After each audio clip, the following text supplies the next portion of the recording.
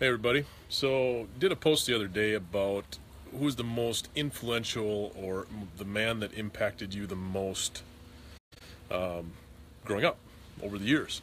And there were some really great responses as far as what that looks like, um, what that means. And, and what struck me, there's a couple things that struck me. Number one is it wasn't always a dad. Could have been a brother, uh, could have been uh, just a man that stepped in and provided some input. Um, so I think as we, you know, I, I, part of manning up is is that is that piece of if you have the ability to pour into other people's lives, you should. Uh, it's kind of like why did I why did I write the book? Why did I even get involved in this? Um, it's a lot, it would have been a lot easier uh, to enjoy the comfortable life that my wife and I have made for for ourselves. Uh, but if not me, then who? So I think I think what what part of that manning up piece is is looking at um, others that you can that you can pour into, that you can help.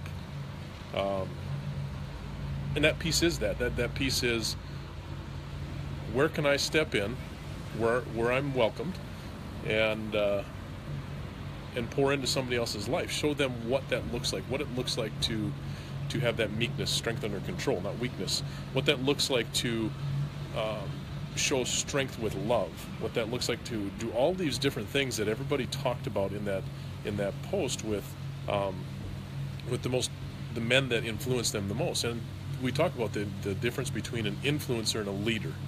I think that's important. An influencer I'd rather be able to influence people than lead them. I'd rather be able to speak into their lives, had them think about it, reason on it, and change something or do something because of their thought process, not just because I told them to do it. Um, and then, you know, I, I, think that that's the, the biggest piece for me is that.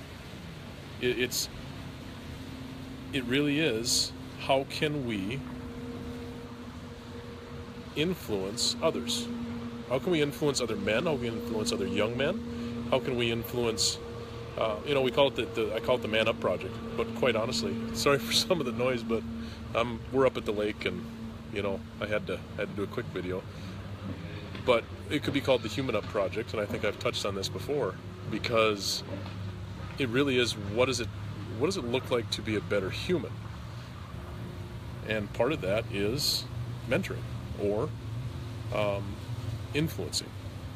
And when you look at the number of people that could use, uh, I know a lot of guys who are who have powerful insight, who have who have that ability and have that that gift that they could do this. Um, yeah, step up, do it. Uh, you look at I looked at all the comments and and the impact that those men had in those people's lives was amazing.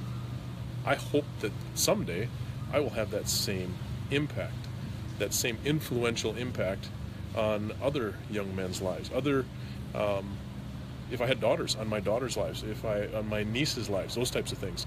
So, at the end of the day, I guess that's what it is. It's that man up, step up, influence, help influence other young men, other people around you. So just had to share. Um, love the comments, keep them coming, and uh, I will I will keep responding to as many as I can, uh, as quickly as I can. I hope you all are having a great weekend, a safe weekend, and uh, I got to get back and uh, do something with my boys. This is their time, but I had to had to hop on quick. So y'all have a great rest of the weekend. Catch you later.